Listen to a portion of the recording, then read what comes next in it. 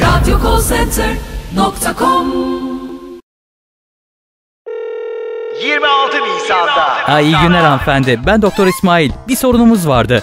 Çaresiz derdimin sebebi belli Dermanı yaramda arama doktor Ee, teşekkürler.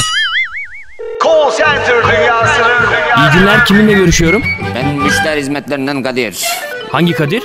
Deli Kadir ulan. Ee, benim kartım kaybolmuştu da. Güvenliğin açısından anne kızlık soyadının birinci, üçüncü, beşinci ve yedinci harfleri bir denklem içerisinde kara kökünü bularak üç saniye içerisinde bana söyleyeceksin ulan. Ha, e, Süren doldu koçum.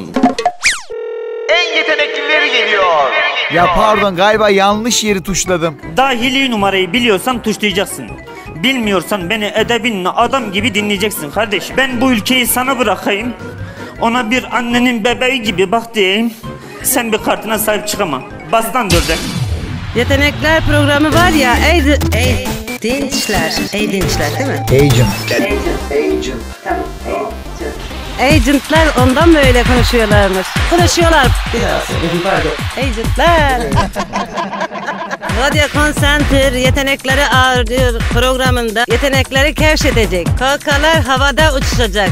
Center dünyasının en yeteneklisi benim diyorsan 26 Nisan'da Perşembe günü saat 12'de seni de bekliyoruz. Bu arada ben gerçeğim.